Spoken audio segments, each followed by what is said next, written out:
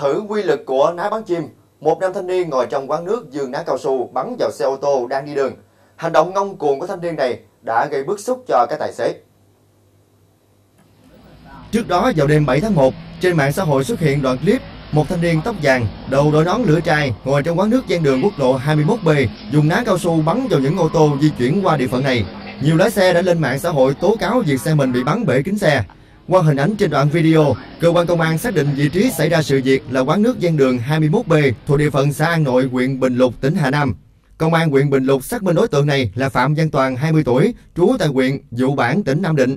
Tại cơ quan điều tra, Toàn khai trước đó có mượn ná của một người bạn để đi bắn chim.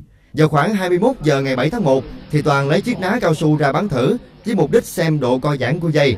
Công an huyện Bình Lục đề nghị các chủ phương tiện đi qua tuyến quốc lộ 21B đêm 7 tháng 1 bị thiệt hại tài sản do đối tượng dùng ná cao su bắn đến công an huyện Bình Lục để xem xét giải quyết.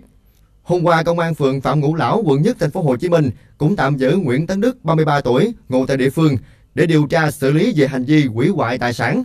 Đối tượng này đã bắn bể hàng loạt cửa kính của nhà dân ở trung tâm thành phố Hồ Chí Minh để thử sức mạnh của dàn ná mới mua để bắn chìm.